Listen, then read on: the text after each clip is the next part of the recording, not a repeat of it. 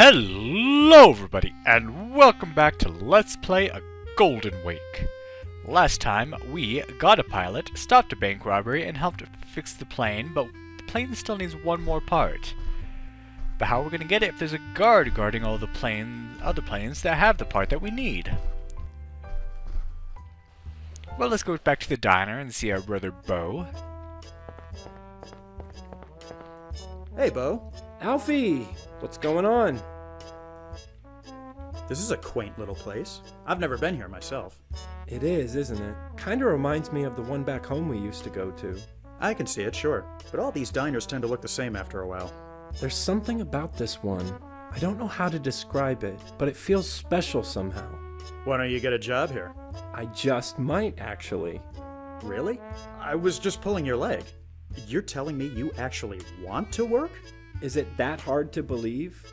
To be perfectly frank, yes. What's made you change your mind? Leaving the city, coming down here, I guess it's just made me realize I need to be independent. Alright, good for you. Uh, getting a 9 to 5. That's, that's what everybody should be doing. How's. How's Mother doing? She's okay, coping. Like I said, she's got friends who keep her company. It's been nearly 10 years since Father died. She needs to move on. Tell me something I don't know. In a way, I think my moving down here will do her some good. She'll realize she has a life to live on her own. I certainly hope so. Alright. Uh, how's New York doing? Has New York changed much? You've been gone less than four months. How much could it have possibly changed? You'd be surprised, Bo. Although, to tell the truth, I get the feeling this city will be almost unrecognizable in a few years. Just the way of the world, I suppose. You really give me the heebie jeebies when you get all philosophical like that, Alfie. Oh, let's uh, offer him a car ride in our jalopy. Hey, Bo, how'd you like to go for a drive? Really? Where to? How about the men's club? Want to club? come mingle at the men's club? I'm not really in the mood to listen to a bunch of old men tell stories. Maybe we could go someplace else? Alright, alright. Come with me to the sales office? You can see where I work. If it's all the same, I'd rather not. I'll probably just get in the way. Okay, well, where we want to take him is the marina. How about Dinner Key Marina? You can look at the boats in the ocean. Sounds like the bee's knees. Let's go.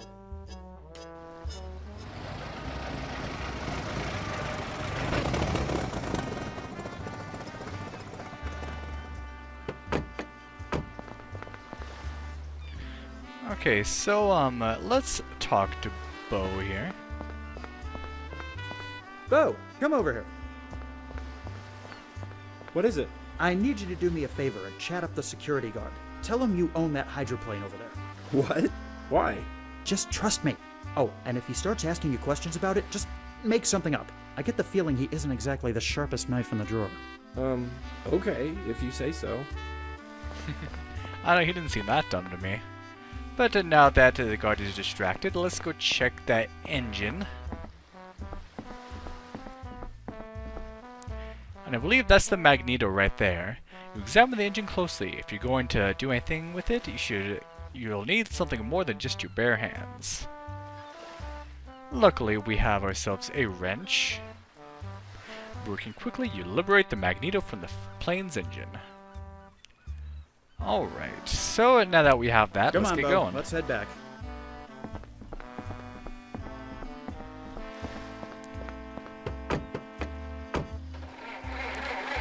This guy's gonna get fired, probably.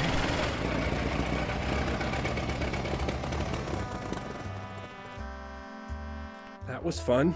I'm glad we made it back in one piece. Thanks for the ride, Alfie. Guess he's saying that because the uh, car sucks. Anyway, um, uh, we have the money here for them, so let's give it to them while we're here. Here you go. I believe this takes care of your payment. Certainly does. Much appreciated. And now let's go uh, to uh, the uh, plane yard and give the part to the mechanic. I like how when you're completely done with an area, most of the time it just takes it off the map, so you know that there's absolutely nothing else there you need. It's really helpful. Alright, here you go, sir. Is this the sort of magneto you need for the engine? It sure is. How were you able to get one so quickly? I have my ways. Well, you really saved me some time. I'll get to work replacing this right away. Fantastic. Here's your wrench back, by the way.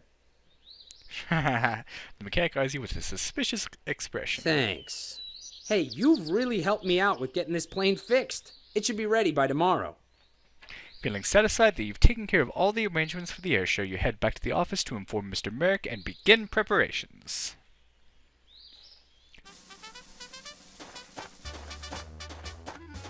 This is it. Are you ready? I think so. Flyboy? Are you kidding? I was born ready. Only thing is, we can't seem to find Dave. Who? The fellow who drives me over to the plane so I can climb on it. Quite a turnout today, Banks. Seems Merrick has got a lot riding on this little show. Feeling nervous? Nervous? Me? Of course not. Oh, by the way, Miss Cody, I ran into someone named Dave on my way over, and he said to tell you he wasn't feeling well. At least, I think that's what he said. He was a bit hard to understand, to be honest. He probably got into Curly's secret stash of corn whiskey again.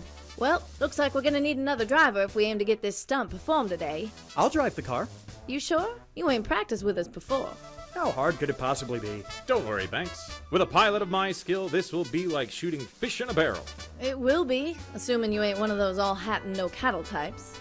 I have no idea what that's supposed to mean, but I'm sure this will all go down without a hitch. All right, let's get this done. We've got a crowd to impress. And now we have a little mini game Okay, here. Banks, it's as simple as cow pie. All you gotta do is keep her steady and let Curly know when to lower the top. That'll signal Flyboy. When the plane comes, keep her at the right speed and position so I can climb up on it. I want to check something real quick. Are there any? Uh, no history. I knew there was something here. Okay, so um, uh, you can move left and right. You have the gas pedal, the brake pedal. What you want to do is slow down and then open this up. If you try to open it up when you're going fast, Picking up a heck of a lot of dust. uh, it won't let you. Is you. that going to be a problem? Nah, makes things more exciting, like a cattle stampede. Okay, now uh, speed up. Just wait. And move over to where the exits. Pretty easy. If you fail this, it'll just let you do it as many times as you need to. Oh no, she's lost her grip! Banks, do something! I can't hold on much longer. Uh She oh. won't be able to climb up the ladder if she doesn't regain her footing! So this is a little bit less obvious, but it's kind of intuitive. You want to go back, you want to raise the thing back up again, go forward, and let her stand on Mabel, top. step on the car roof so you can get your footing back. Yee-haw! That did her! Thanks, Alfie! Alright. Starting spectacle at robbery at bank foiled by banks. That's me. That Marjory Stoneman Douglas certainly knows how to write an article. You feel extremely pleased with yourself, but also hope you can settle back into a less exciting work for a while. The years pass and continue, and you continue working diligently, although somewhat frustrated with the slow pace of your success. You feel certain that something big is on the horizon.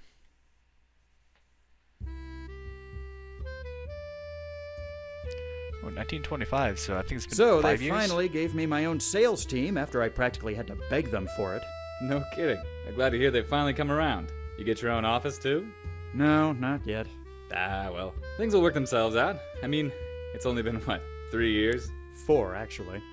Well, you can't expect to become an overnight success, especially not with such a risky project. Have they at least given you a nicer car? No, I'm still driving that old green heap around. Ah, I see. Well, business talk aside, how's your brother doing? Good, as far as I know. I haven't really spoken to him in a couple of months. Last I heard, he was going back to visit our mother. Wouldn't surprise me if he was asking to borrow some money. But then that's Bo for you. Born with a silver spoon in his mouth and spoiled rotten ever since. Anyway, Meeks, it was a pleasure catching up, but I really should be going. Have a good one, Banks. Now, I don't really like that saying born with a silver spoon in your mouth because, yeah, people are born into rich families, but you can't equate everyone based on where they were born. I mean, look at Alfie. He's working hard being successful, even though he was born into the exact same family. Ah, well. Anyway, let's, uh. Mr. Banks, a message came for you from Mr. Merrick. He said to meet him at his mother's home as soon as possible.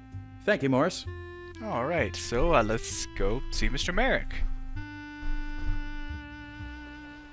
Yeah, the only reason that he meets you at his mother's house is just for because um, Francisco Gonzalez wanted another historical uh, place, so this is It's been a while since I've been here. I wonder why George invited me. this is the Merrick home, which I guess is a landmark in uh, Florida. I know there's some history. Yeah, here we go. The Merrick family was from New England and lived in New York State for a time. But four years before moving to Florida, they lived in Duxbury, Massachusetts, which was very close to Boston. George's father, Solomon Merrick, was a minister, and his mother, Althea, was an artist. Unfortunately, in the winter of 1899, one of the Merrick daughters died of diphtheria, and Solomon Merrick's health began to decline. Althea's father suggested that they move down south to a warmer climate in the newly established city of Miami.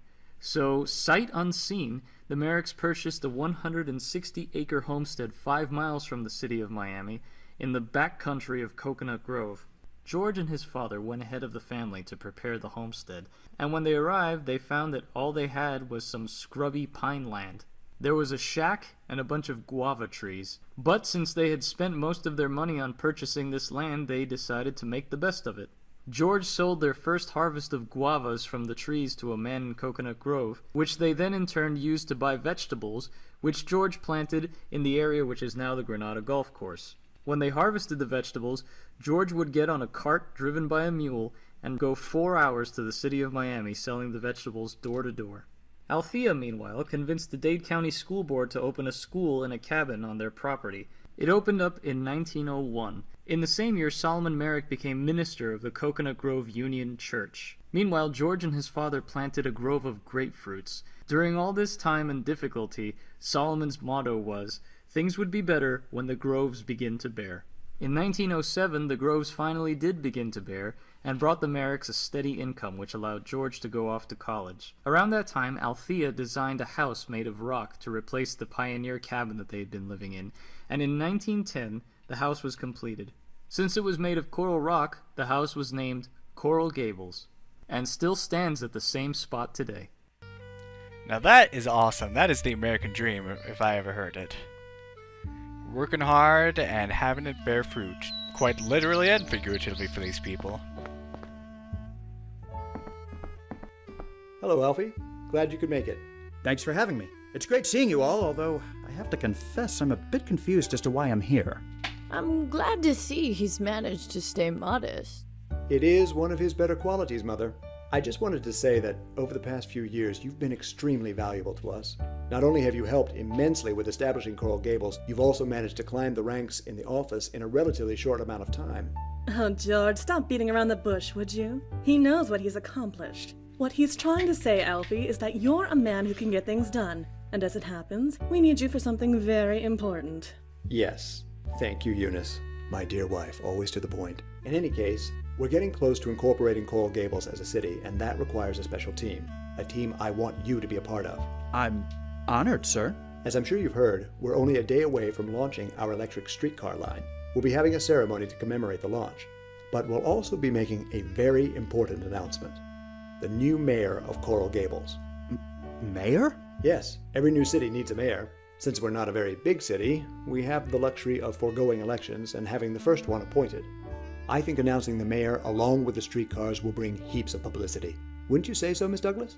I've already got most of the article written, just need to punch it up a bit with the details. Why not bring in someone well known to make a speech at the ceremony? That would certainly make an impression. I thought you might suggest something like that, Banks. Did you have anyone in mind? Not for certain, but I'm sure I can find someone in town. I might be able to help you there, Alfie. Well then, I look forward to seeing what you accomplish. Hmm, so we have a new task to find somebody important to make a speech at the uh, opening of the new streetcars in the town. So we have a few people to talk to. Miss uh, Douglas here. Marjory is no longer a reporter for the Herald. Rather, she's finally achieved her goal of becoming a freelance writer. She's been doing lots of promotional material for, material for Mr. Merrick of late. I'm eager to see what you come up with, Banks. There never seems to be a dull moment with you around. And not much to say with her. Eunice Merrick, uh, maiden name Peacock, is George's wife. You've known her for a few years now, and she's always been very kind to you. Despite coming from quite an affluent family, she is very humble and down to earth. Good afternoon, Eunice. Good afternoon, Alfie. What's on your mind? How have you been? It's been a while since I last saw you. It really has been too long, Alfie. But I've been well, thank you. Mostly busy with the PTA at the school George built a couple of years ago. We should have these little gatherings more often. You know you're always welcome here. Aww. You're his wife. Surely George has let something slip about who's going to be mayor. Oh, Alfie, you know how George is about secrecy. Even if he had told me I couldn't say. Especially considering he's standing right over there. Hello. You'll find out along with the rest of us. Alright, alright. So, yeah, that secret, he's been keeping that for four years. Wow. Any insights on places I might be able to find someone well known to speak at tomorrow's event? I haven't really been out much lately, but I've heard that the Venetian pool is drawing quite the crowd. It's a beautiful day. Why not go there and get some sun? You might meet someone interesting, too. I just might do that. Thanks. Venetian I'll speak pool. to you later. Okay. We did hear about a pool project a few years ago, so I guess he uh, got that one done. What was it? A lovely landscape signed by a D. Fink. Keeps several trinkets on her mantle. They look like they're very old.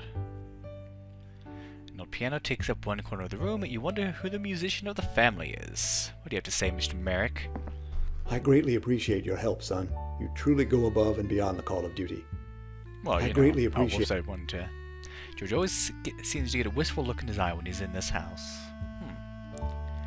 Althea Merrick, George's mother, she's told you many stories about the family's journey down from Massachusetts at the beginning of the century. You admire and respect her, and she's shown you a similar attitude.